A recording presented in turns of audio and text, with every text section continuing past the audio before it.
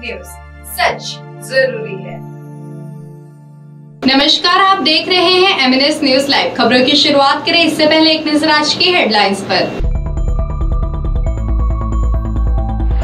कोयले से लदे ट्रक ने बाइक सवारों को रौंदा। जडेजा के घर राजनीतिक युद्ध। बढ़ेंगे सीएनजी और एलपीजी के दाम। अब देखते हैं खबरें विस्तार से। छत्तीसगढ़ के बिलासपुर में शनिवार शाम दर्दनाक हादसा हो गया।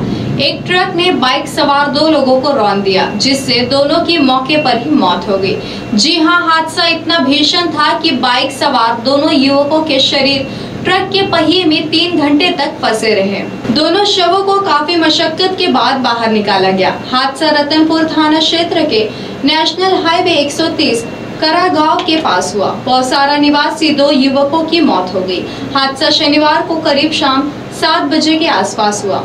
बताया जा रहा है कि कोरबा की ओर से कोयला लोड कर आ रही ट्रक ने सामने की ओर से बाइक सवारों को रौन दिया। हादसे के बाद ट्रक ड्राइवर मौके से फरार हो गया।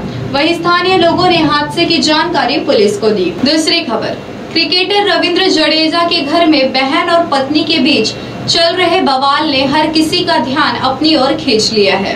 दरअसल रविंद्र जडेजा की बहन न्यायनाबा जडेजा और पत्नी रिवाबा जडेजा के बीच राजनीतिक युद्ध छिड़ा हुआ है। इस बार मुद्दा मास्क न पहनने पर है।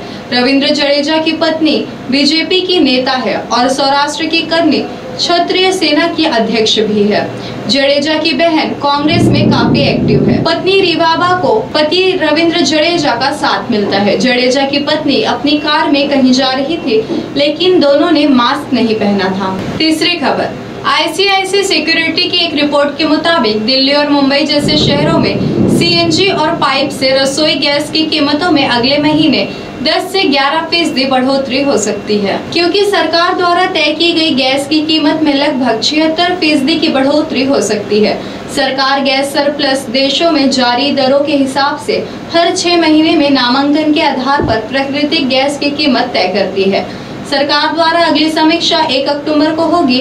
1 अक्टूबर 2021 से 31 मार्च 2022 की अवधि के लिए तीन दशमलव पंद्रह M M B T U हो जाएगी, जो मौजूदा एक दशमलव उन्यासी डॉलर है। इसके दाम बढ़ने से सीएनजी व पीएनजी कंपनियों की लागत भी बढ़ जाएगी। अब आप हमारे चैनल को ऐप पर भी देख सकते हैं। प्ले स्टोर में जाकर एम एन एस सिंधी लिखे और ऐप डाउनलोड करें।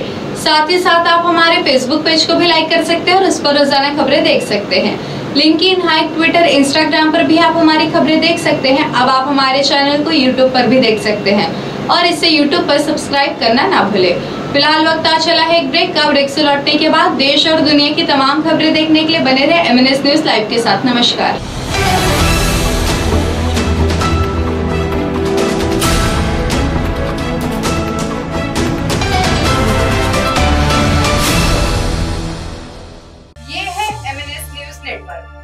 आप देख रहे हैं एमएनएस न्यूज़